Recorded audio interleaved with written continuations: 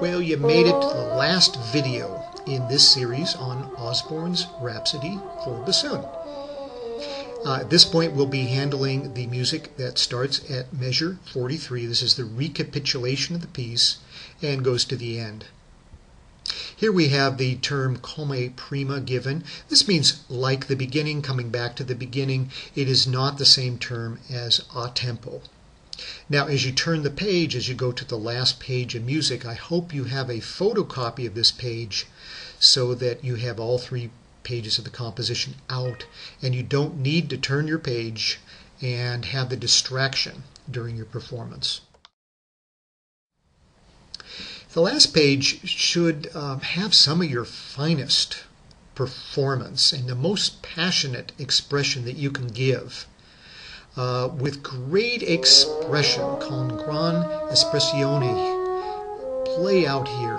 Uh, agitated, uh, little stringendo, a little bit faster here, lento. There really is a lot of different pushing forward, pulling back in this area of the composition.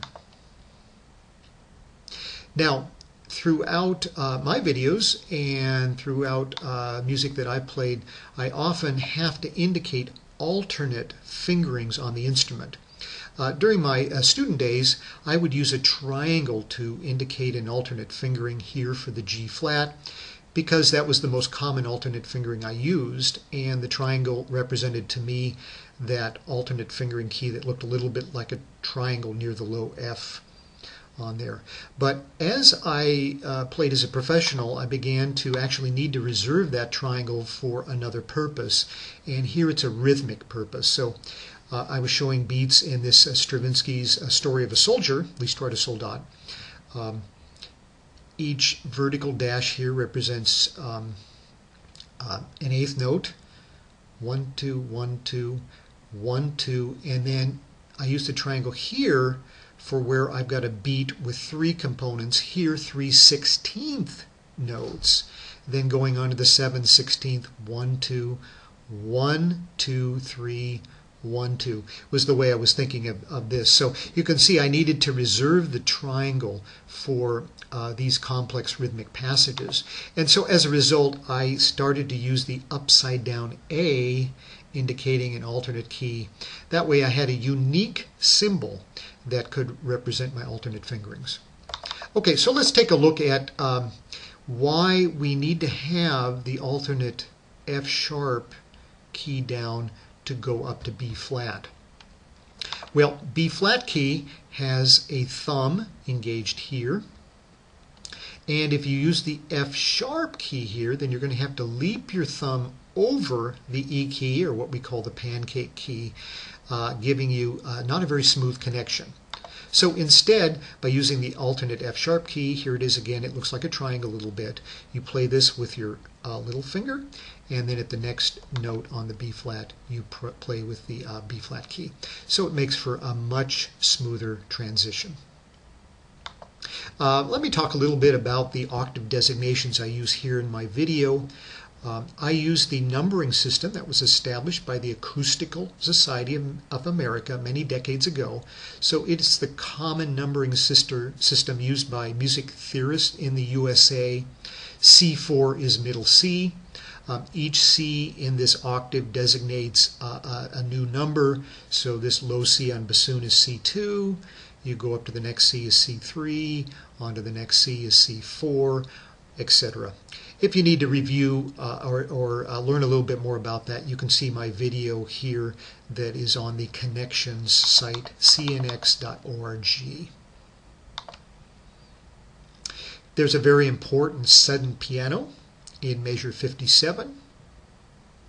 Uh, we've also had earlier in the music another sudden piano, so uh, you do need to carefully make this up. Here's the music in that section.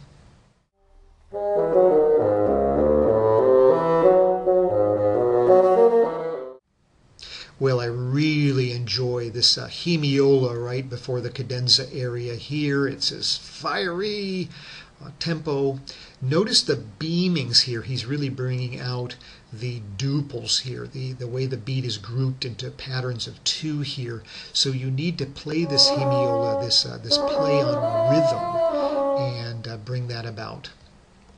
Uh, elsewhere in the music, just a few measures later, in measure 62 to 64, we've got some rhythmic complexities. We have a division or subdivision of the beat into five components, followed then by a triplet, another triplet, and then two notes in half. Um, one of the things I do when I have transitions from one pattern to the next, or subdivisions, trans, uh, transitions and subdivisions, is I subdivide in my mind if I have the opportunity to do so. So I go from a pattern of five, then I think in my mind three notes during this quarter note in order to set up the triplet following it, the next three notes, again thinking in three, and then following up the next three.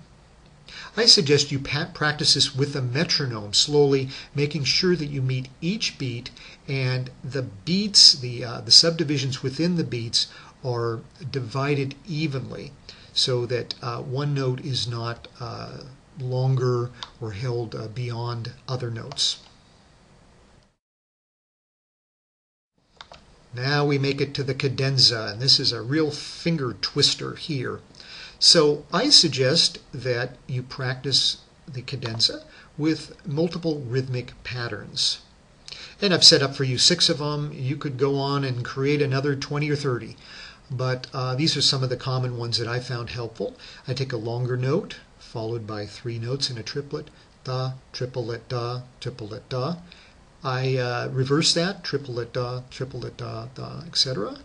Uh, here's one uh, long followed by two notes, da, da, da, da, da, da, da, and reverse that. And here's one a little more uh, quick, da, followed by four notes, da, da, da, da, da, da, da, da, da, da. So imposing those patterns over the notes in the music will really give you some new expertise over this pattern. Well,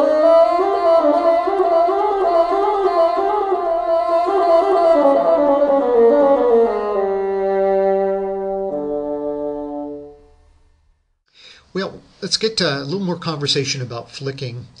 Um, many people don't think about flicking on bassoon, the E flat fours in the music, but it really is quite helpful in these places where you slur down from the higher register to the E flat four to flick the C sharp key. So I encourage you in that section to use that as your flick key. Now here's a figure of the standard flick keys.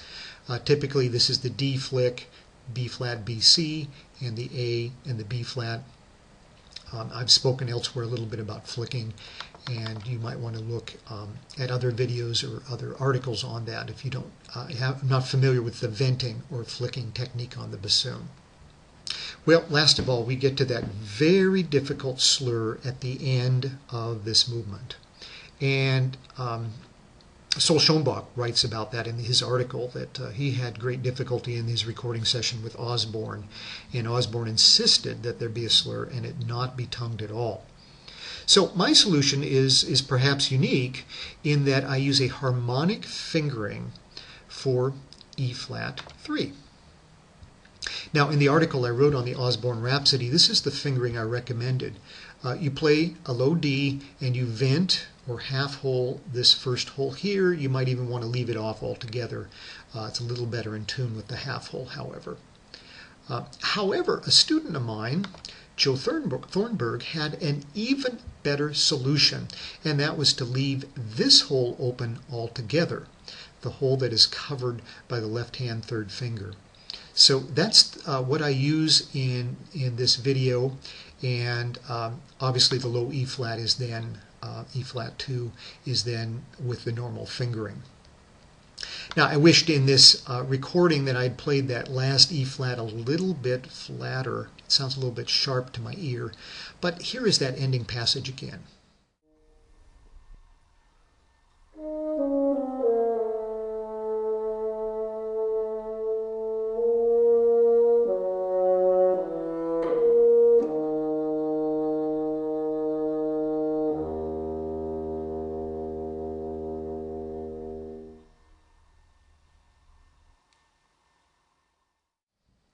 Well, one of my most treasured possessions is this needlepoint that my mother made when she was in taking all of the kids to music lessons.